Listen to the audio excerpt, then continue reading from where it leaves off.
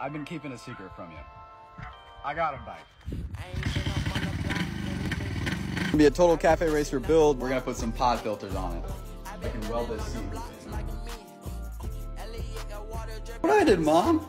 Essentially, everything has to fit in this. Out comes this junker. Came out. Open triangle. Right. Without the gas tank, the bike is gonna look so stupid. Rust-Oleum aircraft remover. Thick coat of this all around. Look what it's already doing to the paint. Scrape this paint off. There we go. There we go. Apply some of that Bondo on the dent. And it should look a little bit like this. And it's just that easy. It happens to the best of us. Ladies and And that is the main wiring harness. It's got crazy green flake. Better look at the green. This isn't going to be comfortable or soft. This one is literally like the dude she tells you not to worry about. Quality on these is insane.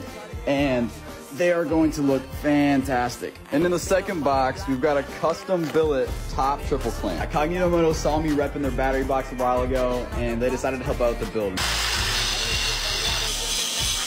Yeah, one step closer every day. And now, let's see it powder coated. Damn! Spray the film down next. Now, we finally got the yellow headlights. Start putting the frame on top. Or I guess it. But yeah, she's looking good. Finsky, he gets it done. We just successfully lowered the front of the bike, put the new handlebars on. Mark my words, by the end of this video, this bike will be on its own two wheels. Ladies and gentlemen, we get it done. That's gonna be so clean. I did it. and I think gold was the move. That's clean. That is clean. Why that actually looks cool. Oh my god, talk to me nice. First ride.